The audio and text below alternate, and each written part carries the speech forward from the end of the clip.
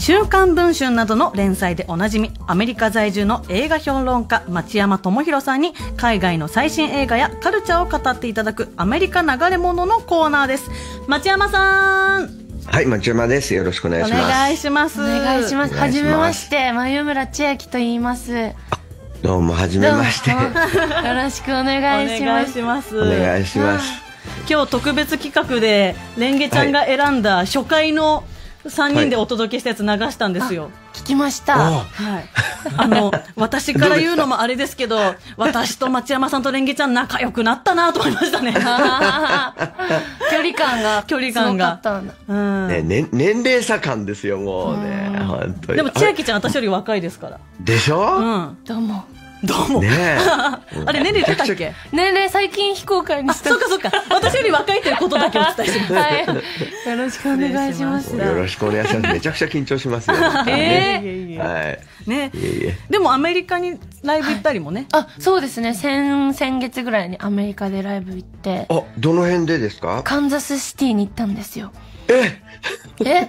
あ、あんな、はいあんなアメリカのど真ん中ですよ。そうです。そうなんだ行って、ライブして、2いきなり？日間ライブして。え、いきなりなんでカンザスシティだったんですか？あそこでジャパニーズカルチャーフェスみたいなのが毎年開催されてて、それのジャパニーズ女代表みたいな感じで行きました。おお。それはす、あれ、アメリアメリカは初めてでした？あ、2回目でしたあ。コロナ、ギリギリコロナか否かみたいな時にそのフェス行って、直前で中止になっちゃったんでしょ。だから、ああ。1週間アメリカで遊んだことはあります。その時もカンザスシティ行ったんですか？はい。へえなんで他は笑ってる行ってます？え？他？は他行ってる？他は、えっと、グアムとハワイ行ったことありまあああ、そう。アメリカ本土は何カンザスシティか行ったことない、す。うん、そうです。わーお。わあじゃあそんなカンザス は知ってる千秋ちゃんとねだけは知ってる。今日お届けしていきますが、はい。先週町山さんに紹介していただいた映画「福田村事件」見てきました、ははい、私でかみいやちょっとおなんかその率直な感想を言うと、まあそはい。そりゃそうなんですけどすごく重たくて、ね。なんか、うんとても考えるきっかけにもなったし考えるきっかけになったわで終わらないようにしようとこう決意が固まりました、うん個人的には。あはいあ。まあちょっとね、まあ、こまあ、子供二人とね、うん赤ちゃんと、ね、それと、まあ、お母さん、お腹に赤ちゃんがいるお母さんまでね、殺してしまうというね。まあ、それがまあ、殺人犯とかそういうんじゃなくて、普通の村人なんですよね。そうなんですよね。うんの凄さがね。はいで、まあ、100年前って言ってもね、うんうんまあ、まあ、僕が子供の頃はだってまだ、言っちゃ悪いですけど、あれですけど、50年前のことだったんですよ。なんか最近起きたことっていう感覚ですよね町山さんからしたら。そうなんです。うんうんやったことある人がいっぱいおじいちゃんとかでいたんですよね。そっかそっかその、まあ、存命の時というか。そうです。関東大震災からわずか50年しか経ってなかったね、僕は子供の頃は。そうですよね。だやっぱりね、あの、僕自身がやっぱりあの、父親が韓国人なんで、うんうんえーそういう話を聞いた時は本当に恐ろしかったですね。へなんかもう森達也監督の描き方がすごい秀逸だなって思ったのが、私町山さんから紹介されて、まあ、関東大震災からそのその後に起きてしまう虐殺事件の話だって聞いてたんですけど、はい。関東大震災が起きるまでのそのはい人それぞれの日常をたっぷり描いてからはいはい。震災が起きてその事件虐虐殺につながっていくっていう描き方だったんでなんかはいより悲しみが深くて。はい。一人一人生きてるだけなんですよね加害者も被害者も一生懸命そうなんですよね。うんこう名前も顔もわからない誰かで、その、まあ、死んだ人の数字だけが語られるんじゃなくて、一人一人の人生がちゃんと描かれていくんでね。うんもうね、僕はね、あの映画で一番辛かったのは、あの、ちっちゃい子がね、うん、あの、映画だってことが分かってなくて、ずっとはしゃいでるでしょ。そうはしゃいでますあのすごくちっちゃい役者というかね出演者が。2、3歳の子がね、うん。俳優として出てて、でも映画だと分かってないから、うん。すごく無邪気にはしゃいでて、もうあれがもう見てられなくてね、うん。この子もどうなるんだろうと思うとね、うんうんうん。まあ、すごく辛かったですけどね。ぜひ見ていただきたいし、私が見に行ったのテアトル新宿だったんですけどあのもう満席でした。あ、それははい。いいことですね。素晴らしいことだなと思いますね。ね。その関東大震災のね、100年目に公開されて、うんうん。ね、で、しかもそれに対してね、日本政府の、うん。あの、松野ね、内閣官房長官が、はい。えー関東大震災の時の在日朝鮮人虐殺の記録が政府にないって、いやー。まあ、嘘をついたんですね。ね。えなんかその、まあ、いろんな福田村事件に対してはこういろいろんな意見とか、はまあ、私とはちょっと違う意見かなと思う方のいろんなこう言葉も見る中で、はい。なんか官房長官という立場の人が、はい。そういう反対側の意見の人でも言ってこなかったようなそうそうそう。ことを言ってしまうっていうちょっとなんかそのもうい怒りを通り越したなんかそのきょとんとしちゃいました正直私は何言ってるんだろうと思って。何言ってんだろうって。だって内閣府がね、出してる書類があるんですよ。ね。ね 内閣官房長官の内閣府がね、そうそうそう。中央防災会議というところが出したね、はいその、まあ、災害教訓の継承に関するうん。専門調査会と、これ、2009年にまとめた報告書なんですけど、それの中ではっきりと、まあ、朝鮮人に関するデマがあって、関東大震災でもう虐殺されたってことが書いてあって、うんうんうん内閣府の書類があるのに、ね、史実がしっかりとある中で。うん。ね、あと警視庁とかも、まあ、大正耐震火災士という、まあ、もう事件当時に、まあ、作成したものの中で、その全部そのデマを検証して、まあ、うん。ほとんど実際に朝鮮人の犯罪はなかったと。うんでも、その確認された虐殺数だけでも、まあ、500人とかね、すごい数になっちゃうんですよ。うんうんそれも全部確認されてるのに、政府にね、もう記録がないって、それは、それは虚偽答弁だよと思いましたね。私もちょっといろんなこと思いましたけれど、い、まあいろんな方に見てほしいけど、その本当に見てほしい人のところにまで届くといいなとも思いましたし、いいいますね。あとあの、はい町山さんもおっしゃってましたけど、はい。水道橋博士のお芝居がめっちゃ良くて、はい。ね。グッときました。本当に上がってる感じがちょうどいいんですね。うんうんうん。上がってますっていう感じがね。よかったです。なんか日本人、韓国人、朝鮮人とかはのどっちが悪だとかじゃなくて、誰しも加害の種があそうる、自分の中にも、デカミの中にもあるっていうことにすごい向き合いましたね。はい。そうですね。あの中で、そのまた、虐殺のリーダーシップを取っちゃうね、博士、水道橋博士がね、別に悪い人でもなんでもないんですよね。ですよね。はいじゃあちょっと今日は感想をね、多めにということで話してきましたが、はい。町山さん森達也監督にインタビューされたんですよね。はい。インタビューしたんですよ。うんうん。したらやっぱりあまりにもヘビーだったんで、はい。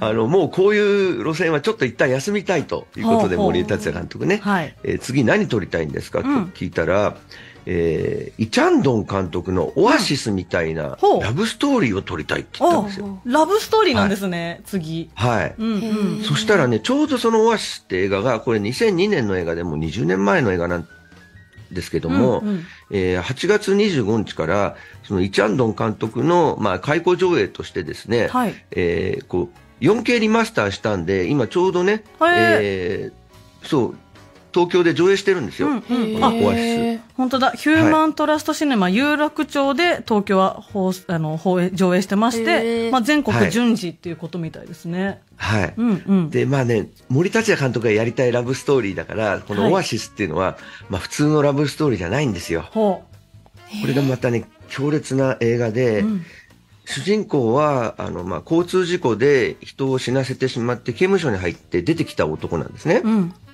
で、彼は、まあ、実は何にも仕事がまあできなくて、はい。えー刑務所出たり入ったりしてるんで、その家族からもまあ嫌われて厄介者されて、うん居場所がない主人公なんですね。うんうんうんでも彼はね、その、まあ、交通事故で死なせた人に本当に申し訳ないと思って、えー謝りに行くんですよ。なんか、ちょっとどうなんとも思いますけど。そうかそうそう、それ。れ、それいいのとか思うんですけど、うん彼はちょっと素朴な人なので、はい純朴な人なんで、まっすぐそう思っちゃってんですね。そう思ってね、うんうんその遺族の部屋を訪ねていくと、はい。そこにね、ある女性がいるんですが、はい。その女性がこう体をこう歪めてね、え苦しんでるように見えるんですよ。全身を。う。うんそれはね、あの、重度の脳性麻痺の女性なんですね。あらあはい。そで、あ。じゃあ、障害を持たれてる方を残して、交通事故ではい自分がそういうことですよね。なるほど。そうなんですね。お父さんが亡くなってるんですよ。うん。で、その女性となんとその、えー青年が恋に落ちていくっていうラブストーリーなんです。えー、わあちょっと辛いお話だな。これがね、まあ、すごい強烈で、えーまあ、その脳性麻痺というものは、はい。あのお腹の中に赤ちゃんでいる時とか生まれた直後とかに、はい。あの例えばその、まあ、よく言われてるのは逆号とかで、うんその酸欠になっちゃうんですね。うんうん。で脳に行く酸素が少なくなると、うんまあ、脳の一部に障害が出たりするんですけれども、はいでまあ、体が、まあ、自由に動かせないという感じなんですね。えーただでもその心の部分、うんうん。精神の部分は全く普通なんですよ。うんそうか、体が不自由なだけで。はい。そうそう、体が不自由なだけで言葉が喋れないとか、表情が作れないと。だから、そう、自分のコントロールできない入れ物の中に閉じ込められてる状態になってるんですよ。ああ、そなるほど。う。うんね。普通の人がですよ。うん。ねう。ん。ね。それをその女性の心の内側から描こうとするんですよ、これ。ああ。まあちょっと見てみるとね、どういう映像表現か、あの、あっと驚く奇跡のような瞬間がありますんで、ええ。まあぜひよかったらとうんうん思います。うわ、ちょはい。見てみたいですね。はいちょうどね、順次公開されてるから。はい。行きましょうしかも森達也さんが影響されてるならより。影響、影響っていうか、まああの、ああいうの撮りたいな。こういう感じで撮りたいって。はい。楽しみ。このね、あオアシスで一番すごいのはね、うんあの、韓国だから、はい。あの、ドラマ撮ってるシーンが出てくるんですよ。ドラマのはいはい撮影をしてるシーンがね。そうか、映画の中にさらにあるってことえですか？映画の中にちょうどね、はいはいはいあの、ロケーションしてるところに出くわすんですね、うん主人公たちがね。ね。で、それが超イケメンと、ほね、韓国ですからね。うんはいと、もう、美女とでね、二、人で、あの、まあ、高級車に乗って、もう、すっごいおしゃれで、うんうんピカピカのさ、ラブストーリーやってるわけですよ。う。なんかもう超憧れの恋愛してるわけですよね。そうそう、うん韓国ドラマでね、はいえー一番人気な。それをちゃんと中に出して、うんこれが、まあ、世界中で人気の、まあ、うん韓国ドラマの世界ですよ、と。うんうん。でも、そうじゃないものもあるんですよ。あドラマや映画が見せない、あ。うん。ね、K-POP が見せない、うん。うん。ね、ものがあるんです。それをお見せしますっていう映画なんですよ。はあ。すごい、その演出。だって人それぞれにはい人それぞれの関係値とか恋愛がまあ当たり前にあるわけですもんね。はい。うん。それをなんかそのキラキラの恋愛ではい。見せてくるのすごいですね。うん。すごいんですよ。うんうんうんはい。で、これちょうどね、あの、今、イチャンドン、え監督レトロスペクティブで上映中なんで、はい綺麗な映像で、はい、うんえーぜひご覧ください。はい、改めまして、東京はヒューマントラストシネマ有楽町にて、えー公開中でございます。はいはいそして今日は2本立てでもう1本紹介していただける。いいんですか？うん。結構その流れの映画なんですけど、その流れ、うん。ホラー映画です。スパルタです。全然その流れではないです。はいや、結構その流れなんですあ、はよ。あは実は。その流れねえ、ホラー映画お好きなんでしょ？前村さん。はい、好きです。あ、ね、さっきもあの最近見た映画がね、はい、最近エスターファーストキル見見て、ああ、はいちょっと人間の怖さみたいなのが好きです。怖いですねエスター一作目びっくりしたよね。びっくりした。ギャーって言いました。ね、い言えないですけどね。はいあ、そっかそっか。あれも、解説しにくいんだよな、ホラー映画。びっくりさせる。ネタバレになっちゃうんで。ネタバレになっちゃうから。ねですかあデカミさんは全然ホラー映画ダメなんでしょ？私はね、ホラーがすごい苦手なんですけど、お化けが苦手なんですよ、とにかく。はいはいはい。だから、人間の恐ろしさとか、はいまあ、スプラッター的なのだったら、うんうん人と一緒になら見れます。うんうんうん。あああ、はいそうなんだ。お化けはなん誰と見ても無理です。あ、本当。怖がりなんじゃあ、で。リングとかダメ？全リング然。とかも今、もうタイトル聞いただけで、はぁはぁってなる。もうすごい怖がり。はいああ、え、じゃあ、夜、その、電気消さない感じ？寝るとめちゃめちゃ高校とした光の中寝てます。へー。意外ですね。そうなんですよ。怖がり。部屋に暗がりとかあって、そこになんか髪の長い女の人が座ってるとか想像するあーですねとダメっていう。。そう、例えばで言われるだけでも、うん、わーってなるぐらい怖がりなんですけど。おお風呂行く行くとき、お風呂入るとき、自分でお風呂持ってますよね？うん、もちろん、もちろんます。蓋開けるとき怖くない？あ、だから、あの、蓋ずっと開けてます。冷めちゃうだろ、それ。保温しない。なるほど。はい。頭洗う時も、下向けてシャワーじゃなくて、上向いてシャワー浴びてます。えー、目開けられる。目目開けてる？目目開けてやってます。ああ、そっか。まあ髪の毛とかしゃ、ねそうそう。こう洗ってると、怖いからね、目つぶって、ね頭シャカシャカってやって、はい。ねそう手が止まってるのになぜか誰かがシャカシャカやってたりするんだよね。でも、私目、目開いてるんで大丈夫。でも今日は、実は予告編をね、はい本番前に二人で見たんですけど、どうやらおはい化け系ではなさそうななさそう。あ、違います。これはね。うんうんうん。はい。えー、これはね、まあ、すまあ、殺人鬼系ですね。ほう B という映画は。うんうんうん。はい。ただね、ちょっと普通のそういうスプラッター映画とちょっと違うんですよ。はい。これね、えー、スペイン映画なんですけども、はい監督は女性なんですね。はい。だから女性的視点で描かれているところは違うんですけれども、うんえーこれ、主人公はですね、えーサラという、えー女の子で高校生ぐらいなんですけども、えーまあ、ピギーというあだ名なんです。うん。ピギー。ピギ悪口ですね、完全ー、そに。う、そう、うん豚ちゃんっていう意味なんですね。で、近所の、まあ、美人のね、うん。えー同級生たちから豚ちゃんとか呼ばれて、で、まあ、写メ取られて、また意地悪なコメント書かれてね、うん。あの、小豚の、あの、親子とか書かれてうねわ、えーネットでいじめとかされてるんですよ。普段からね。で、でもね、お父さんもお母さんもね、あんまり、その、彼女にね、うんえー優しくなくて、あら。そう。そっか、お家ねでもちょっと居場所が。そうね、居場所はないですよ。お母さんとかはね、あんた太ってんだ、そうやってね、甘いもんばっかり食べてるからよってね、もう、肉とかね、甘いもんとか食べちゃダメっつってえー、強行ダイエットをしようとしたりするんですね、お母さんが。えはい。で、弟がまたね、こましゃくれた意地悪な弟でね、うん。あの、お姉ちゃんね、デブだからいじめられてんだよとかね、家でも言ったりして、うんで、居場所がどこにもないんですよ。うんうんうん。ね。で、また夏なのに、プールとか行かないで家にずっと引きこもりしてて、はいこう、ヘッドホンでずっとね、えーもう、うんなんていうかもう他のものを遮断してるんで、そのサラがね。うんはいうんで、お母さんがそ、そういうことしてないで、早く外出て、ね、あの、みんな泳ぎに行ってんだから、プールとか行きなさいとか言ったりしてるお母さんなんですよね。はいそっか、あんま苦しみに気づけてもないというかう。ん。そう、うんこのサラの辛さに、もう誰も気づいてくれない、一人ぼっちなんですよ。うんその街でね。で、彼女はまあ、こう思ってるわけですよ。まあ、そういう状況の人が思うのは、みんな死んじまえばいいんだと思ってるんですよ。そうですよね。うん。ね思っちゃう、さすがにそんな状況だったら。そうなんです。で、その夢を叶えてくれる人が現れるんです。えー、何？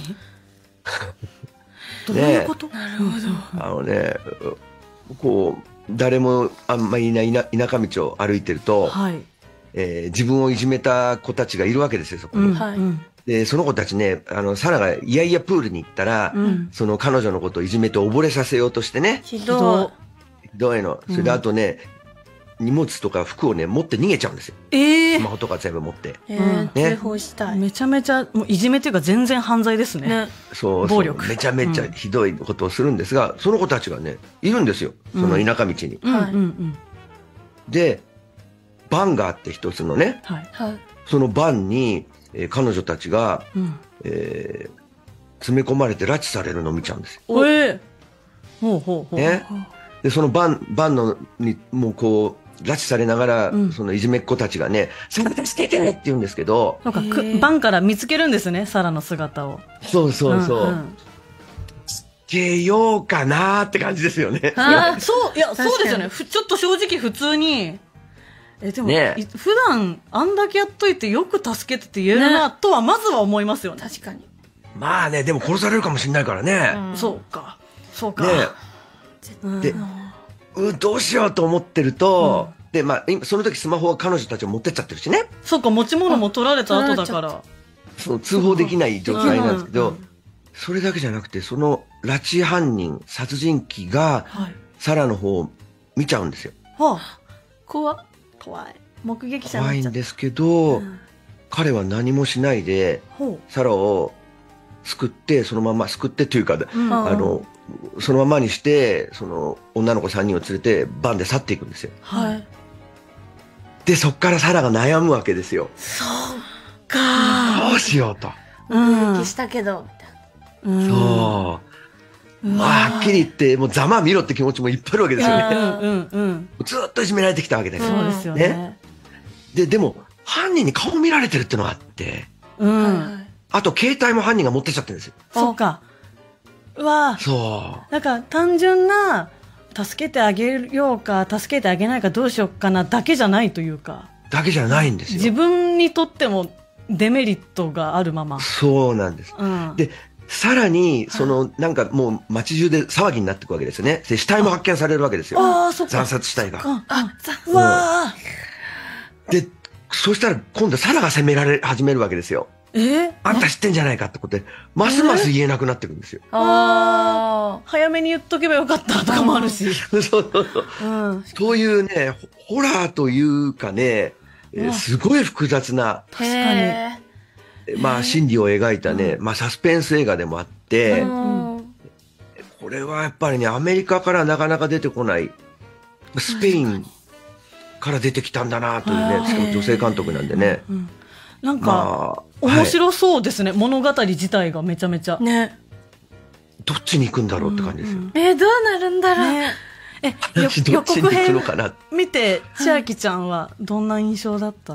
えー、ワクワクって感じでしたよ、結は。構刺激強い予告そうです編で、はい。なかなかこう見るのに覚悟がいりそうな描写もありそうだったんで、あ、結構ありますね。こういうのでこうしっかり人間の心とか人間関係とか描かれてるうんのちょっと珍しいですよね。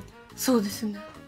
これね、またね、意外、もう言えないですけど、はい、めっちゃ見たい。意外なことになっていくんですよね。えはい。そっかでも女性監督だからそういうこうね、女性がこううーっとなる気持ちとかも描いて。そうう。んうん。ー僕ね、すごくね、見ててね、怪獣映画のことを考えたんですよ。怪獣映画？えー、なんでですか？お男の子だから、僕世代的にはゴジラとかウルトラマンの世代なんですけど、やっぱりこう、親に叱られたりね、はい。学校で先生に叱られたりね、はいあの、叱られたりばっかりしての人生だったわけですけども、はい そのたんびにやっぱりね、怪獣が出てきて、ゴジラが出てきて、うんうん全部踏み潰せばいいんだと思ってたんですよね。うんうん。ちっちゃい頃にね。でも、その時に本当にゴジラが出て、うん。街中火の海にしちゃう感じですよ、この映そう画。かだから良くない妄想が、自分に都合のいい妄想が現実になったらどうするみたいな。そうなんですよ。どうしようっていうねえーまあ、そういうね、非常に奇妙な、ね、映画がね、このピギーなんですけど、はい。えこれ、もうすぐ公開ですね。はい。はい。9月22日に、えー日本公開なんで、あんまり言えないので、これ以上は。はい。ただ、一言一発、結構クライマックスはすごい、すごいんで、ちょっちょっと覚悟してみてください。えーはい。見てみましょう。はいありがとうございます。今日は、えーえー韓国映画オアシス、そして9月22日に公開になるホラー映画ピギーをご紹介いただきました。町山さん、ありがとうございました。ありがとうございました。以上、アメリカ在住の映画評論家、町山智博さんのアメリカ流れ物でした。めっちゃ見たくないめっちゃ見たい。